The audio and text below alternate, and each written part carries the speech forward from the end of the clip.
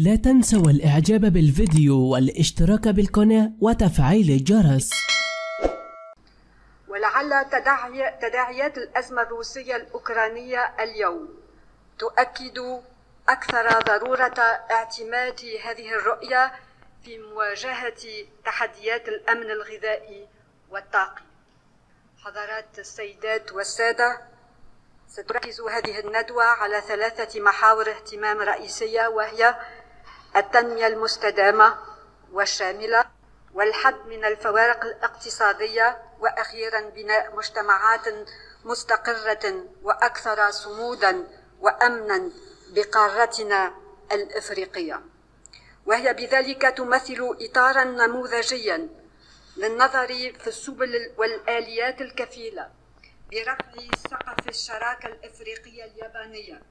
إلى مستوى الرهانات والتحديات المثالية لتحقيق الانتعاش الاقتصادي والاجتماعي المرجو ودفع النمو الشامل بما يساعدنا على تحقيق أهداف التنمية المستدامة ل 2035 والأهداف المدرجة بالأجندة تنمية 2063 للاتحاد الإفريقي لبناء أفريقيا التي نريد.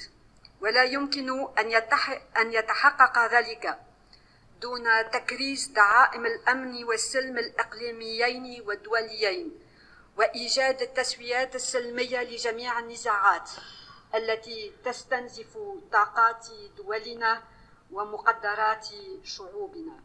كما لا يمكن أن يتم دون برامج مساندة مالية وفنية وتدابير تفاضلية وبيئة استثمارية تشجع على ريادة الأعمال وقادرة أيضا على احتضان رواد الأعمال اليابانيين والأفارقة أو غيرهم وتقديم نموذج للتعاون بين القطاعين العام والخاص الإفريقي الياباني.